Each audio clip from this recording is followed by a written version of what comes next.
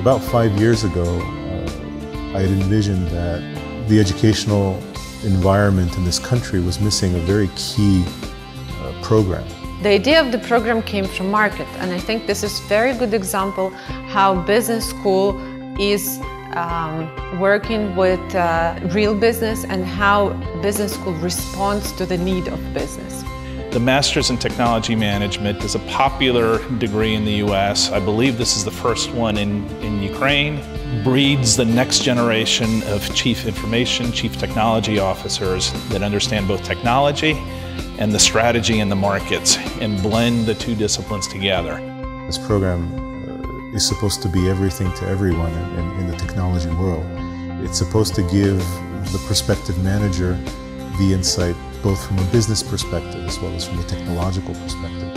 Uh, it's supposed to, to evoke in him or her the ability to be a visionary in the technological society, to be a strategist, to be able to lead his company to the next level. But it's not starting from scratch. We're following models that have been very successful in the United States with similar programs, and also bringing over the, the teachers, the faculty members from such programs in the U.S. This is to be the foundation for the manager's growth into an executive management position, into a C-level position on the technology side of things.